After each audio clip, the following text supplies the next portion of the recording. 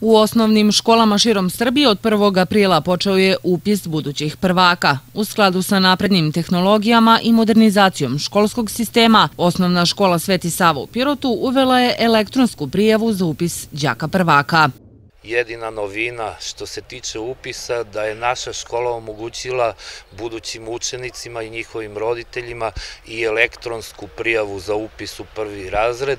Preko školskog sajta i Facebook stranice postoji nekoliko uputstava koje roditelji lako prate, popunjavaju i automatski dobijaju SMS poruku da su prijavljeni za upis u prvi razred.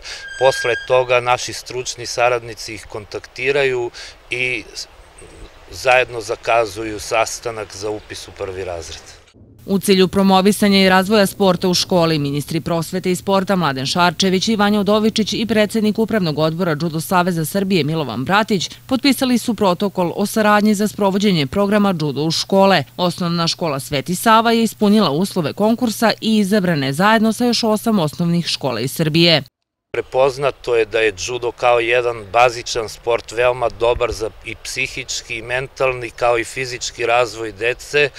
Mi smo zajedno sa Draganom Zdravkovićem, judo trenerom i diplomiranim profesorom fizičkog vaspitanja konkurisali, ušli smo u uži izbor i evo od posle 1. maja kreće nastava judo u škole gde će u roku od dve godine kao pilot projekat Dragan izvoditi nastavu džudova sa našim đacima. Dobit ćemo kompletno borilište i 50 kimona, tako da će to značiti ne samo za našu školu, nego i za ceo grad.